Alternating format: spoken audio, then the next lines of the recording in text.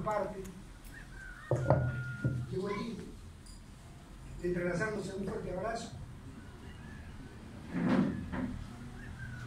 de darnos la mano y de saludarnos,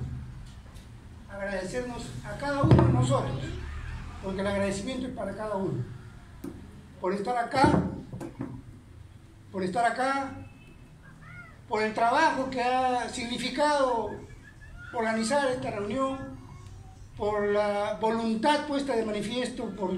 Margarita, Charo, Roxana, que colaboraron y pusieron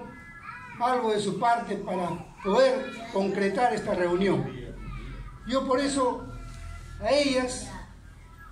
y a todos los presentes les hago llegar mi cariño, mi abrazo y todo el amor que puede significar la cercanía de.